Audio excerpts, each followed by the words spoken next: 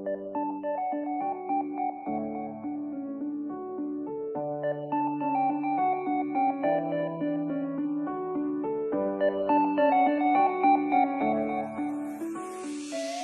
ik ben Hanne, boswachter. En vandaag neem ik je alweer voor de derde keer mee in en rondom de wijk Parijs in Culemborg. En ik mag mee met ecologisch adviseur Vincent van Heijmans. En hij gaat me laten zien hoe we die uiterwaarden, waar ik nu middenin sta, meenemen de wijk Parijs in.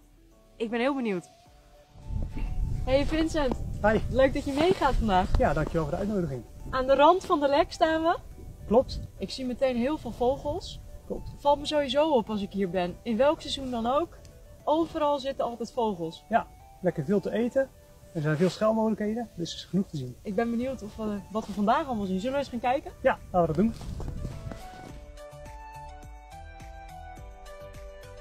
Leuk te snel. Ook al die voetsporen hier, hè? Ja, en ook heel wat. Nee, nee. Ja, dat zo te zien. Ja, denk ik ook. Ja, dus. Leuk. Ze verraden zichzelf niet. Bij de aanleg van de wijk Parijs, waar we echt hemelsbreed heel dichtbij zijn, hè, hebben we echt geprobeerd om de natuur de wijk in te krijgen. Klopt. Op welke manier hebben jullie dat gedaan? Nou, zoals we hier zien zijn er heel veel struiken met besjes en hoge bomen. En Ja. daar voelen beesten zich thuis. Dus als we dat nou mee kunnen nemen naar de wijk, dan kunnen dieren vanaf hier, via een soort van weg voor de natuur, Ja. kunnen ze zo de wijk in. Ja, want dieren houden niet van over een kale weg eh, waar ze open en bloot voor allerlei vijanden zitten. Nee. Eh, dan komen ze nooit die wijk in.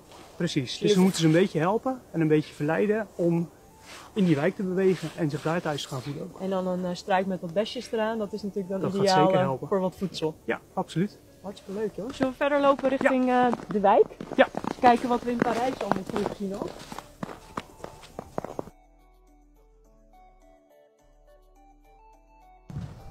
Mooi wandelingetje hoor, zo dat klompenpad. Mooi hè?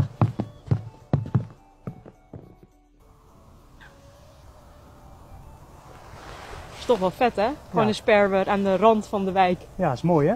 Echt. Ja. En dan zie je eigenlijk meteen wat jij bedoelt met de natuur naar de wijk brengen. Ja, je kunt hier heel goed zien dat eh, die bomen, eh, maar ook struiken en ook kruiden, dat we daarmee de natuur die wijk in... eh, Die kruiden zien we nu even niet, die liggen onder de sneeuw. ja, die liggen onder de sneeuw. Het voorjaar. straks als het weer wat warm wordt, dan komen allerlei bloemen weer en dan hebben we weer meer dagvlinders en libelles. En die kunnen mensen dan ook mooi ervaren. Ja, want die insecten die worden weer gegeten door vogels. En zo'n sperwer die daarboven in de boom zit, die eet die eh, lieve schattige vogeltjes dan weer op. Ja. Dat is dan eh, het Dat is de leven, natuur, de ja. natuur. Dat is fantastisch. Ja. Zo hebben we de natuur echt de wijk in. Nou is het natuurlijk helemaal mooi als mensen ook nog de natuur welkom heten in hun eigen tuin. Hè? Ja, mensen kunnen er zelf ook zeker wat in doen. Dus als ze de tuin bijvoorbeeld niet helemaal bestraten, maar een beetje rommelig maken en wat struiken erbij met besjes of met bloemen, Liefst nog dan een boom. kruiden. Liefst nog een boom, en die geeft ook lekker verkoeling in de zomer. Nou, Ideaal. Dan meer? creëren we hier samen een, een optimaal leefgebied eigenlijk voor zowel mens als natuur. ja, absoluut. Heel mooi. Dankjewel Vincent.